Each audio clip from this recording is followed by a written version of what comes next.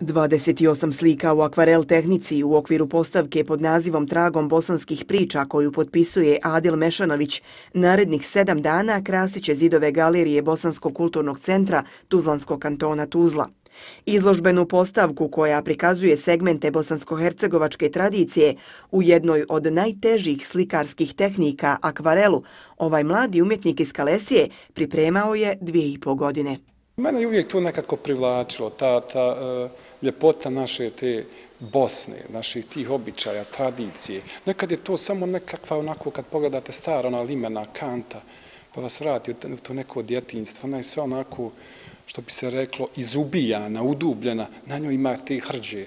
Pa ne znam, da li je to ne, stara pumpa, nešto što smo nekada toliko imali toga nam bilo blisko, a danas to više nema, sve nestaje polako, odlazi u zaborav. Adil Mešanović slikarstvom se aktivnije počinje baviti krajem 1999. godine.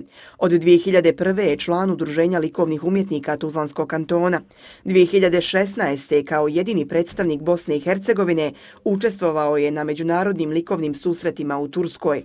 Ovaj diplomirani psiholog-pedagog i nastavnik predškolskog odgoja i obrazovanja voditelj je škole slikanja sa izložbom pri Bosanskom kulturnom centru u Kalesiji, učesnik i organizator likovnih kolonija.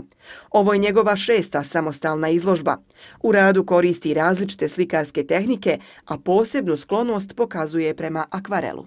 U odnosu na druge tehnike, teška, po meni veliki izazov, ljepota i uvijek me još od malih nogu privlačilo baš to.